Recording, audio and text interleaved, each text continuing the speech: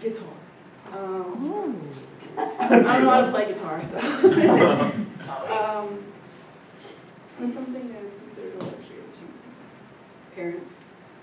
Um, uh, I, s- I love my parents, they've both been in my life, and out of all my friends, and what I know, I'm the only one that has both my parents, and they've both been real present in my life.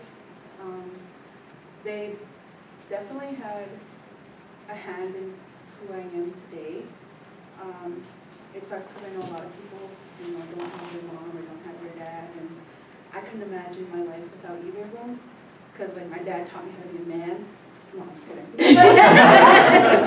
and um, my mom taught me like uh, like to be forgiving and patient and like also that I need a man. Like so, kind of. So kind I'm, I'm independent, and I think that it's because of them.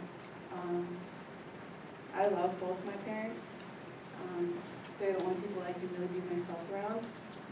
Um, and it just, Ooh, I'm shaking, stop. Okay, Sorry. Um, yeah, you know, because my dad, he broke his back every day, like, worked on the rigs, made sure that we had a good life. Like, we would go to town, and my, my parents wouldn't even care, they would just let us store everything in the, in the cart, and my dad worked hard so that we could do that. So I grew up very spoiled, and then, um, yeah.